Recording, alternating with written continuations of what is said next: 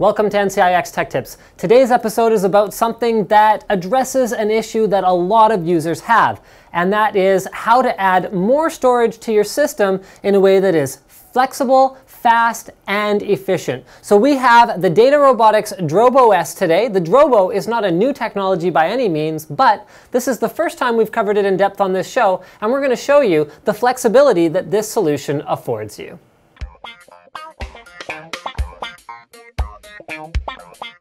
Now, while a simple solution may be to take your system and go, okay, you got one storage drive, it's full, you throw in another storage drive and you start putting data on it. But that is not always an ideal solution because what you're doing is you are setting yourself up with more points of failure. The more drives you have with separate, non-backed up data on them, the less safe your data is overall. So what Drobo allows you to do is plug this external box into your computer. So we're just using USB 3, although you can also use eSATA or FireWire.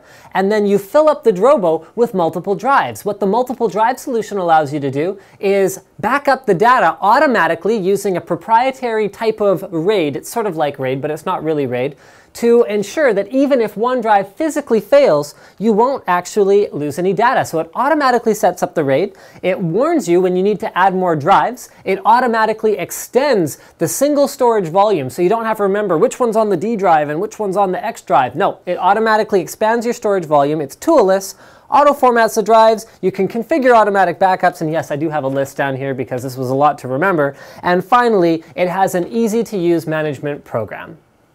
Now the first thing you do once you connect your Drobo to your computer is install the Drobo dashboard. The Drobo dashboard can be used to manage multiple Drobos. In this case, we have just one Drobo, the Drobo S 5-bay storage appliance. Now, I mentioned it has some advantages over RAID. So it uses its proprietary RAID to keep your data safe. That's all fine and cool. It's easy to expand because when you run out of space, you just add another drive. But one of the biggest disadvantages of RAID is that you are pretty much required to use all identical drives if you want the best reliability and the best performance. Drobo has no such requirement, so we are going to be achieving our storage capacity today by installing a bunch of random drives. So I have three that match. I have three Seagate Barracuda 3 terabyte drives. I have another Seagate Barracuda, but this is a 2 terabyte drive, and then I have a completely different drive. This is a Western Digital 2 terabyte black drive. Now, with these five drives, we are spanning two different capacities, two different performance classes with the black drives and the regular drives. We are spanning advanced format drives, that is all the three terabyte drives are advanced format, and this is an older two terabyte black that is not an advanced format drive. So we are going to demonstrate the flexibility of the Drobo. The first thing that the Drobo dashboard tells us is Drobo does not detect any hard drives. Please insert a hard drive immediately, so we'll show you how to do that. Installing a hard drive in the Drobo is really simple. You take off the magnetic front cover and you pick a drive at random. In this case, we're going to take one of the Seagate 3 terabyte drives and you line it up correctly, which isn't necessarily easy, and kind of wiggle it a little bit. I wouldn't mind if they had drive rails on it just to make the installation process a little bit smoother. You might want to hold the, uh, the clip here out of the way. There we go. And it clicks into place. Then why don't we take uh, one other drive because we tried this off camera once already. And what it does if you put in only one hard drive is it gives you an error message in the dashboard that says, right now your data is not being protected. And they're right, because unless you have more than one drive installed in the Drobo, you're not getting any redundancy and you might as well have just thrown that drive into your PC. As soon as you put in more than one drive, it will start to work its raided, fake RAID magic to ensure that your data is safe.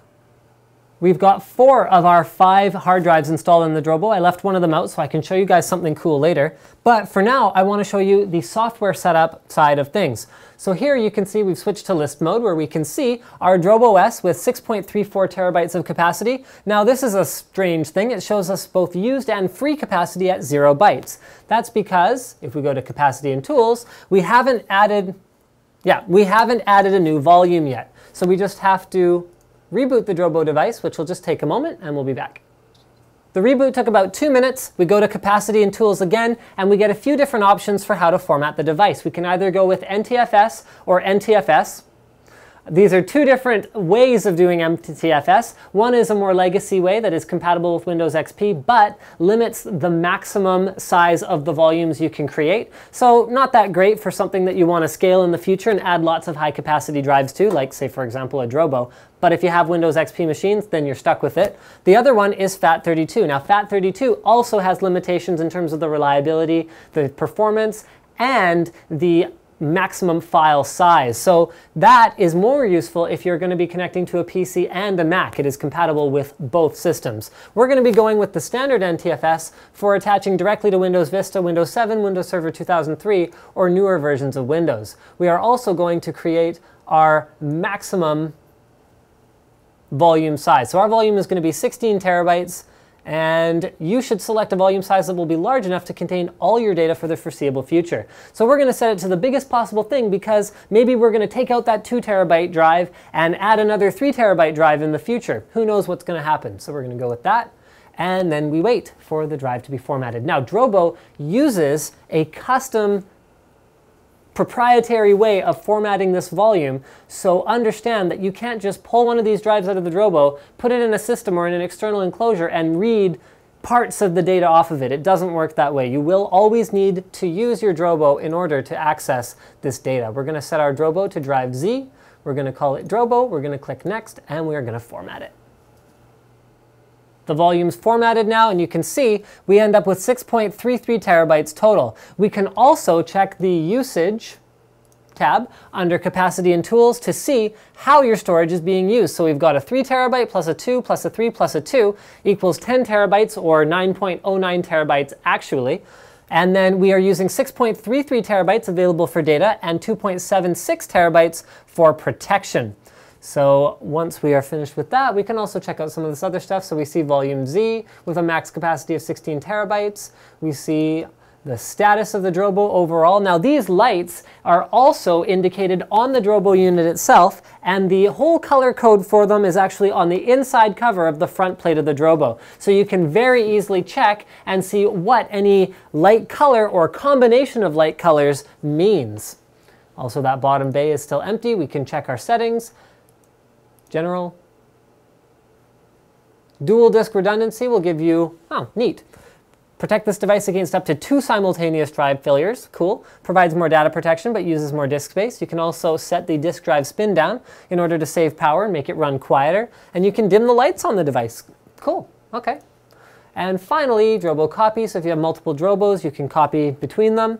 And dashboard preferences give you some preferences for the dashboard, obviously. So now let's get into the demo part. This is the part that's actually interesting. So first, we're going to take a big old whack load, 1.88 gigs, so that's about uh, 2 gigs of video footage, and we are going to copy it over to the Drobo, and we're going to do something really cool while that's copying. We're actually going to add an additional hard drive to the Drobo showing that not only can you scale the storage of the Drobo very, very easily, but you can do it very conveniently even while you are using it. So you're going to see it's, uh, let's do this demo in real time. Let's see how the Drobo does, because we haven't actually tried this yet. So there we go. It's still copying the data.